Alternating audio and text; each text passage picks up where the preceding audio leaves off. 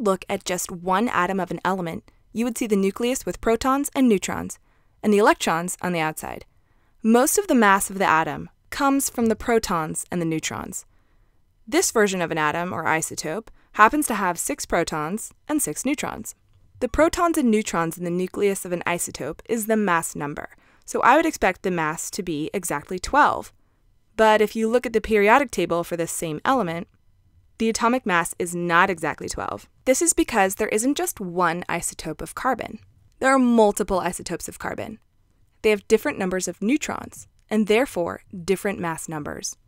We don't use mass number on the periodic table because there are multiple isotopes for many of the elements. Instead, we use atomic mass. Atomic mass is the weighted average of the atomic masses of the different isotopes of an element. To understand this definition, we need to know the difference between weighted average and a regular average. Let's look at the sample of boron atoms. There are two different isotopes here, boron 10 and boron 11. In a regular average, we would add up 10 and 11, and then we would divide by 2, and our answer would be 10.5. The problem with this is that it doesn't take into account which isotopes are more common. Boron 11 is more common than boron 10, so this really isn't good enough. In this sample, we have 24 boron 11 atoms and 6 boron 10 atoms, with a grand total of 30 atoms. That means that there are naturally 80% boron 11 isotopes and 20% boron 10 isotopes in nature. We can use that information, the natural abundance, in our weighted average. The average atomic mass is equal to the mass of isotope 1 times its abundance which is a percentage in decimal form, plus the mass of isotope 2 times the abundance of isotope 2. And this goes on, so on, so forth, until all the isotopes are represented.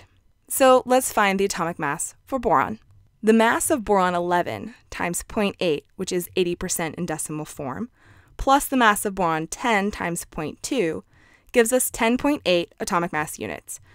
10.8 is closer to 11 than it is to 10, and that tells us that there are probably more boron 11 atoms in nature than boron 10.